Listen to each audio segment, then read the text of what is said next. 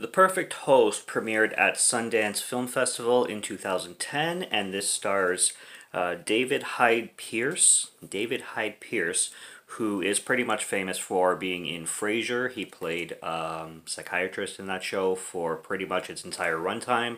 Uh, was never the big Frasier, biggest Frasier fan, so I haven't really seen the series or anything like that. But uh, that's where he's most notably from. He also did a voice in the Bugs in a Bug's Life, I'm pretty sure, um, as well as Osmosis Jones, from what I've read from his Wikipedia. Anyways, he stars in it as well as Clayne Crawford as a career criminal. And uh, I'm going to be giving the basic gist of this film to start. For anybody who hasn't seen it, I won't be spoiling it at the beginning. Uh, basically, this is about a man played by um, Clayne Crawford who recently just robbed a bank and he's basically on the escape, and uh, everybody is kind of chasing after him, and his name is all over the radio and, and television. And uh, he's trying desperately to hide out, and he finds his way into this man's home uh, named David Hyde Pierce, and he kind of cons his way in there um, to hide out from everything. And this guy's throwing a dinner party. He seems to be pretty well off financially and uh, very like mild mannered, well spoken guy. And uh, basically, it just takes a whole 180, and um, the villain, because who you think is um, gonna be the villain, turns into the uh, guy held hostage, pretty much. And the guy who you think is the innocent, well mannered guy, the main guy, turns into a little bit of a psychopath and then the film plays out from there. It goes batshit insane. It's mostly a black comedy. Um, there's a lot of comedic moments. It's I wouldn't say dramatic, but there's some thrills in it. There's a lot of like anxious moments, anxiety, and then the last twenty minutes kind of actually turns into a detective kind of uh, uh, story. Like it definitely takes a little bit of a a turn in mood and theme and um, what the rest of the film was. So you kind of almost feel like you're watching a different movie, but um, that's basically how it ends off. It, uh, it it turns into a little bit of a chase, but um, yeah. So that's basically the mild gist of it. Um, getting into spoilers now. Uh, I don't know. I really don't know what the budget on this film was. It's definitely an indie film, uh, hands down. And there are some moments in it that, for lack of a better word, uh, feel a little cheap, I guess, but it, that's also kind of a strong word because cheap is not really the word I'm looking for. Just seems um, like there was a budget restraint and um, like I don't know, some of the cinematography just doesn't seem um, that high caliber uh, in certain scenes, especially in the beginning. As as you start to get to the middle, eh, like the the once the film starts to really take off in its uh, plot and its themes, it starts to pick up and it starts to get a lot better. Certainly a lot funnier. Um, and I'm telling you, David Hyde Pierce, um, his performance in this film is uh, is a treat honestly. It's the the film is automatically worth watching uh, just because of his performance alone. Um, in the end i landed on a two and a half out of five because it is one of those films that i loved certain aspects of it and wasn't the biggest fan of other aspects of it mainly to do with the plot. And uh, that's basically what i give two and a half when I give two and a half scores, it's usually because of that. I loved certain things. I wasn't the biggest fan of other things. But, anyways, um, so Clayne Crawford is running from. He, he basically just finished his robbery. He gets into a convenience store. There's this kind of hilarity ensues scene in the in the convenience store. You got the uh, Asian worker. It automatically gets robbed by somebody else conveniently, while Clayne Crawford's character John, his name is uh, John uh, John Taylor and he's buying medication for his foot because he think he got shot on in it or he somehow he slashed his foot or something so he's limping the whole time. And the convenience store conveniently gets robbed by somebody else who has like a now Elliot Page but had like an Ellen Page voice if if anybody has seen Hard Candy. Basically it's like Ellen Page from Hard Candy or Elliot Page now who was Ellen Page in Hard Candy uh, robbing this convenience store. It's really funny because she's short and everything, and she's like got like a, like a, a cap and she's like trying to act all tough but she's so like small and skinny and she's robbing a convenience store acting like she's the toughest girl in the world it's kind of funny um, but yeah and then that whole robbery ends up you know he try he, the main guy takes her gun and points it back at her and then he gets out of there and he's looking for a place to stay he knocks on this woman's door who he saw Jehovah's Witness sign outside of, and he's trying to be all polite and nice, even though you can kind of read around him and he is acting pretty sketchy in this scene. Um, he's like, Yeah, I saw your Jehovah's Witness sign and I understand how this must look, but, uh, you know, I just thought you could possibly uh, help me out a little bit. And she's like, Oh, you're a Jehovah, huh? But how come you're not wearing your cross? And he's like, Oh, when I got mugged, they they yanked it off of me, and the lady's like, "Well, hopefully you'll get one next Christmas." And he puts his foot on the door, and she like looks at him weird, and and she he's like, "Please, like I'm really desperate right now. I mean no harm and stuff like that." And she's like, "Well, you're if, if you're a Jehovah's, you know uh, that we don't celebrate Christmas or celebrate the cross." Wolf calls him a wolf and just like slams the door on him. So she was a very smart lady. I really appreciated her wits, and I really appreciated her uh, test on him. So I liked that a lot.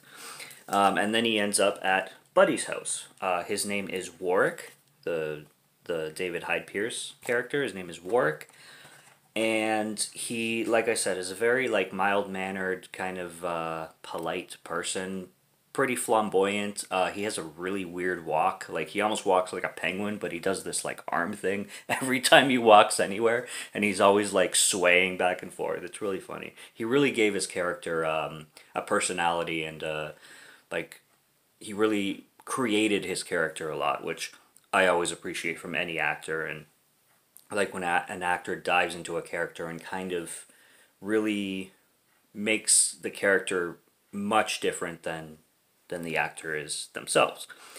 But uh, like I said, a lot of anxiety-induced scenes when um, when John is at this man Warwick's house because uh, he finds a postcard by this woman named Julia in the mailbox, and this is what he uses to bribe himself and con himself into the home. Is this postcard from this woman named Julia from Australia, and he pretends to know Julia. He pretends he tells Warwick that he just flew back from Australia and that he met Julie and that they became friends and that Julia mentioned Warwick to him and you know if he's ever in LA where this Los Angeles where this uh, film takes place that he should contact Warwick and whatnot so he develops this whole exuberant story.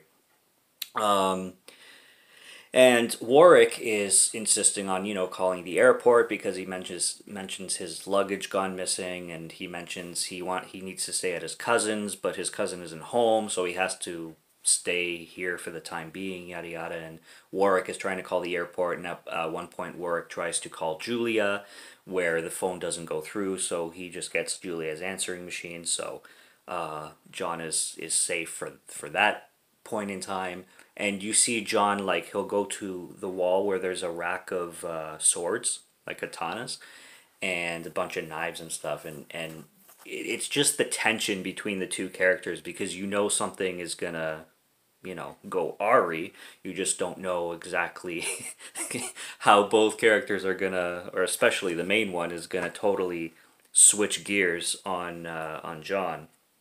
And the threats that John makes to to Warwick as well. Like he threatens him at knife point, which is really disturbing, and uh, basically tells him to just you know stay back. And there isn't even a point where he says like to Warwick, he's like, "I'm gonna kill you. I've already made that decision." So you already like feel the tension, but he's like, "But if you stay out of my way and just stick to yourself and keep your dumbass opinions to yourself until morning, I might change my mind." And uh, and yeah, and then uh, this is after the broadcast on the radio comes up, and this is where Warwick hears the radio, and then his his cover is exposed, uh, John's. Um, and then once uh, he basically takes the wine bottle and starts to chug it and and chill out while he's you know basically holding Warwick hostage, and then he passes out because Warwick was smart enough to drug the wine And when John comes to, we have all the hilarity and all the black comedy going on. So uh, John is t- uh, tied to a chair, which you have to suspend your disbelief because the chair that uh, John is tied to, he's has his hands behind his back. He could like literally just stand up. If he stood up, he'd just come right up from the chair. It's not like uh, it's not like his hands were tied around a bar or something on the chair. It's just a regular rectangular chair that his hands are tied behind. So very very easy and effortless escape. But that's a nitpick, kind of. It, those things you notice, they're they're definitely noticeable, but it's there. It's just one of those things you just gotta skip and forget about and you know continue with the with the point of the movie. Um, but he's tied to the chair, and uh, the whole time Warwick is talking to invisible people. So this guy is, uh, I'm I'm assuming a schizophrenic. He definitely uh, talks to people who are not there, many of them, and he has a whole dinner party where he serves actually a really delicious looking duck dinner. Um, and just has full conversations with invisible people. It's really hilarious. And John is stuck there tied up. well, uh, Warwick is, you know, having a conversation with everybody else and talking with uh, John at the same time. And it's just, it's really funny to watch this performance of David Hyde Pierce play this psychotic, delusional dude. And he has pictures around his house too, and he's like this with nobody there. And this is where John is like, the fuck is wrong with this guy?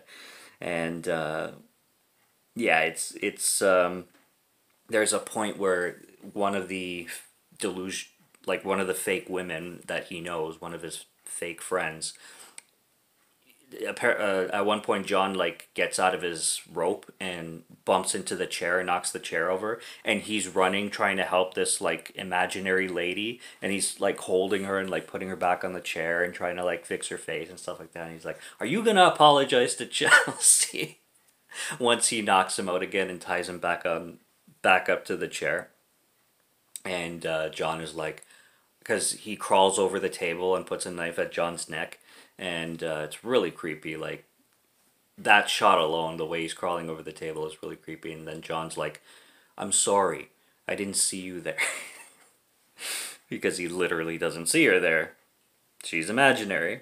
Uh, Warwick brings out a scrapbook at one point, and this is where you realize that he legitimately is a serial killer, and he, it's his passion project. He brings people over and murders them after throwing fake dinner parties with imaginary people. And he really takes these imaginary people seriously. Like, he does a really good job pretending they're literally there.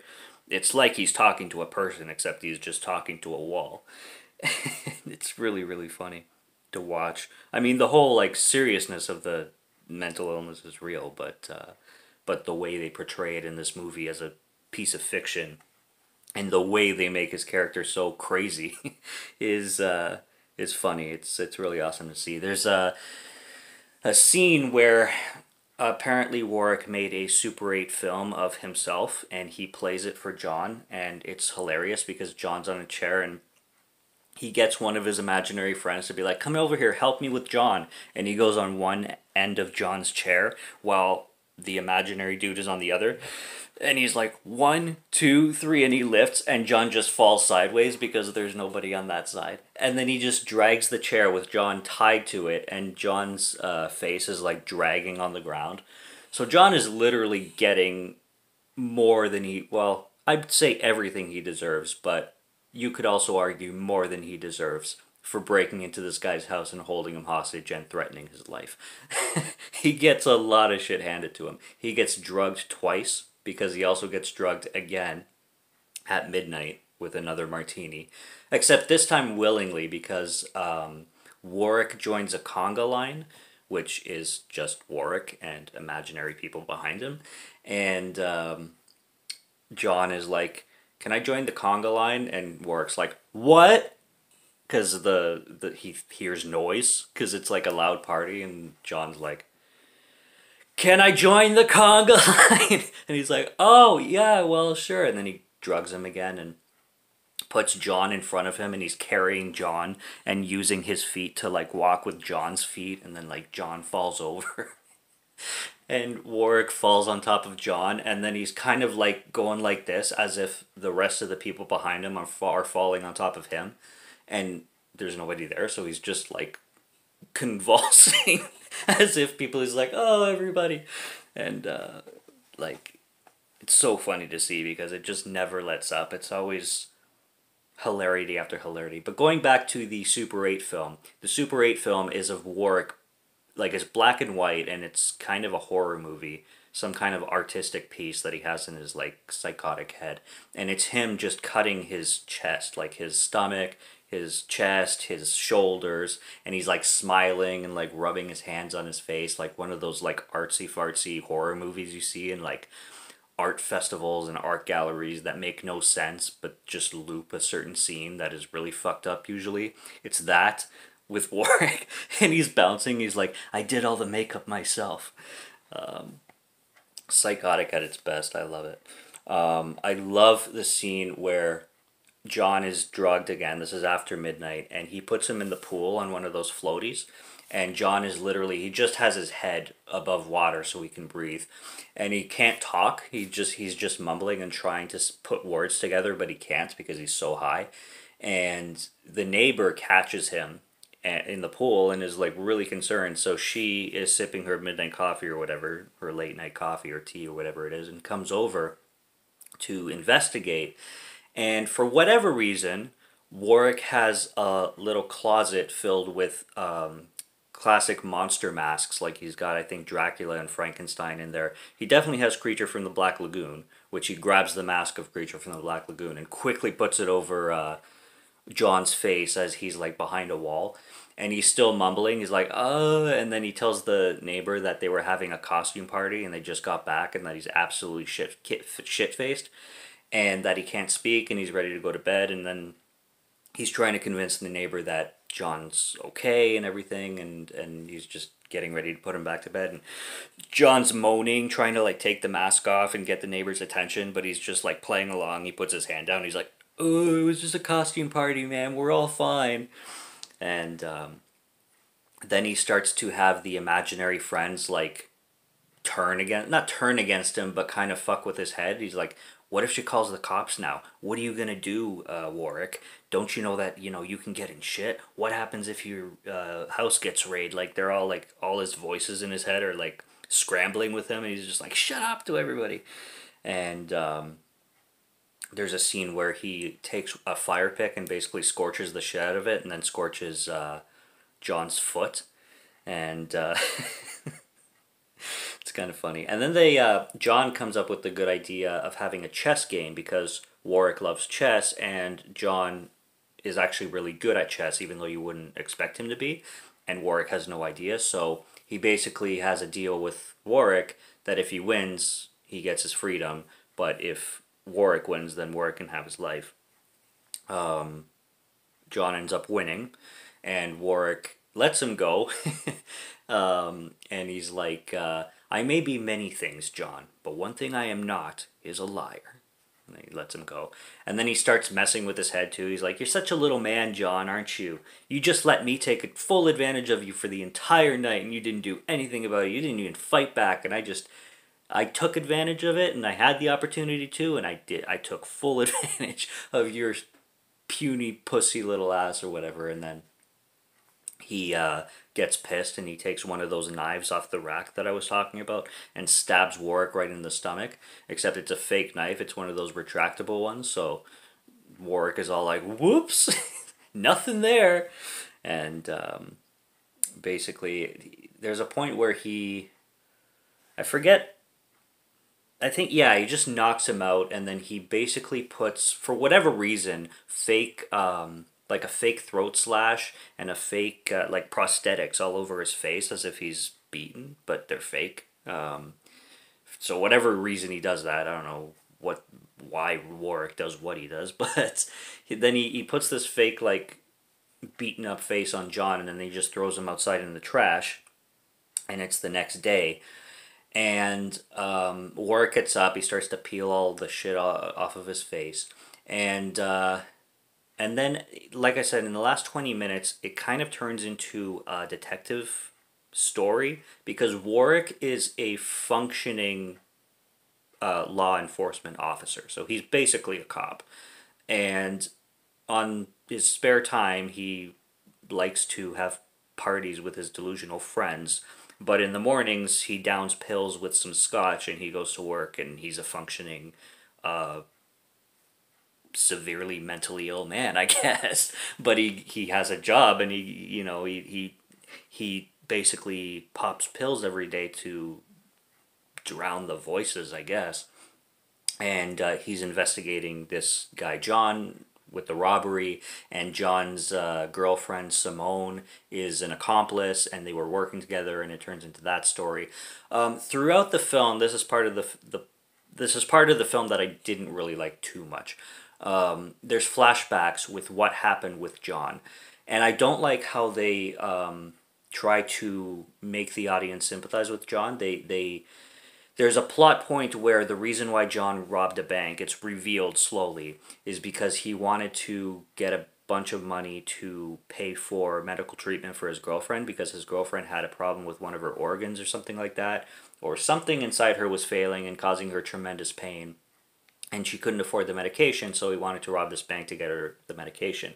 It turns out they were working together because she worked at a bank anyway, so they came up with this scheme where she or he, sorry, pretend pretended to ask her out or something like that a few times even though they were already going out and therefore that she would be able to like transfer the money secretly or something like that and then it turns out that she double crossed him and she purposely had him get caught so she could have all the money for herself and then it turns out that she actually wasn't sick and there was nothing wrong with her organs and she was lying the whole time because she wanted to con him. And it just gets a little ridiculous when it comes to a story about a psychopath um, polite mannered awesome character like warwick. And that's uh, john by the way. And uh, who actually I, I consider him he kind of looks like um, Joaquin Phoenix slightly, so I consider him a poor man's Joaquin Phoenix throughout the film because he has like his expressions, not his voice too much, but his expression sometimes is like a younger version of Joaquin Phoenix, like the Signs days kind of thing. Like he could be a little brother or something, but uh, regardless, it turns into that, and with a with a film like with such a simple but effective plot like The Perfect Host, and then it just gets too complicated for its own good and a little too dramatic for its own good. And a character like uh, John Taylor, I don't want to have sympathy for because he's already just gone so far with the villain side of him, and then you get him basically getting his own, getting what he deserves by this crazy dude and the crazy dude's performance is so great that him becoming just a functioning guy in you know in the real world and everything and there's a scene uh, involving a car garage where there's the interrogation between simone john's girlfriend and john um, where he confronts her because he found out what she was doing and she was about to escape without him and then she's doing the whole sympathy card like, baby, I'm so sorry. I was looking all over for you. I didn't know what happened to you. I heard the cops were after you, and oh my gosh. And she's acting all innocent when you know she's not. She's a complete bitch. Um, and then, for whatever reason, uh, Warwick has John at gunpoint right before he's about to escape in his own car, and they already catch Simone. And John has this, like, kind of interrogation with him, but then he gives him the keys and gives him a bunch of money that he stole, which it was in the trunk of the car, and Warwick takes a shit ton for himself and gives him a little bit to cross the border and is like, okay, fuck off, we'll just keep this between us, see you later, goodbye. And then the movie ends pretty pretty interesting. Uh, one of the detectives in the police station gets a letter uh, a few months later. This is like two months later or something like that from John, and this letter has a um, Polaroid picture because Warwick loves Polaroid cameras. Through the entire party, he's taking pictures with a Polaroid camera. He's taking pictures of everybody. And that scrapbook that I mentioned, he takes a Polaroid picture of John and puts John's picture in there while, like, creating this whole scrapbook of murders kind of thing. So he takes Polaroid pictures all the time, and John mails the detective one and says, Watch out on the Polaroid picture. And it's a Polaroid picture of Warwick and John at Warwick's house.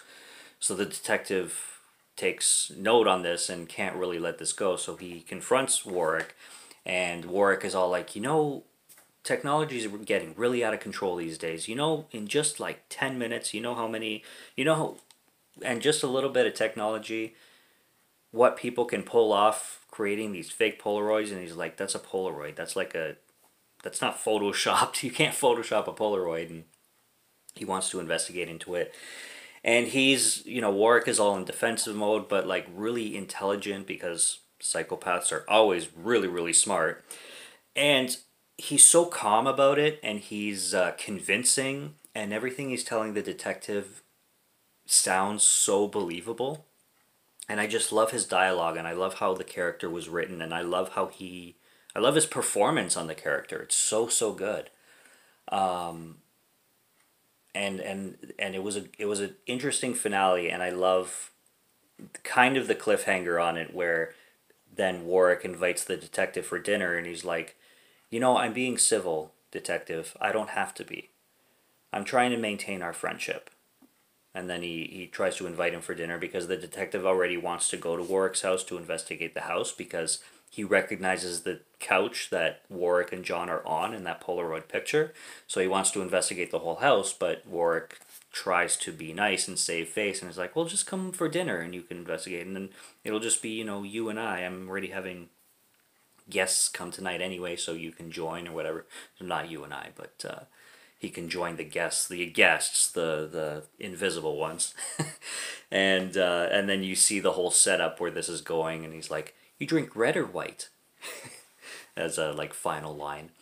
Um, so yeah, it kind of sets up for what you know is gonna happen after that. Really, really funny fucking movie, man. Um, you know, it's it doesn't pull too many punches other than that that kind of not far fetched, but uh, overcrowded ending. That's a good way to put it. The, the the twenty the last twenty minutes are a little bit overcrowded um, in comparison to like what the first hour and 10 minutes was. And um, I mean, it's it's entertaining as hell. Um, and like I said, the the best reason to watch this film is just for his performance alone. Any Frasier fans have to see this film. Um, I mean, if, if anybody loved Frasier growing up for, with Frasier and is very familiar with the, I think his name was Neil, if I'm not mistaken, in Frasier.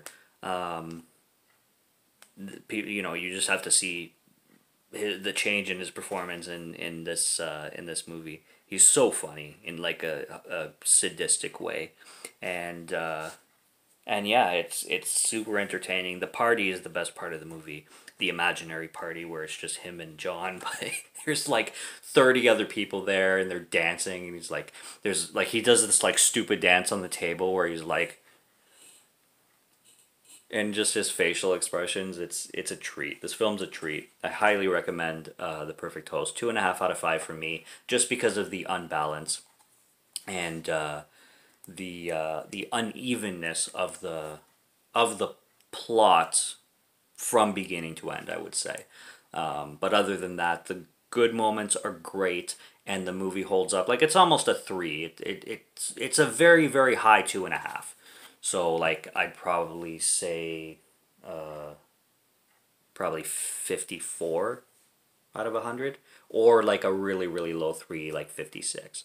Um, really really good stuff. I highly recommend The Perfect Host. This is 2010. It premiered at Sundance and uh, go find it somewhere if you could find it streaming as well. Uh, check this out, and uh, it's not one to be missed, especially if you like independent cinema. So, subscribe to Morgan Film Fan if you like to listen to my voice or if you like my film reviews.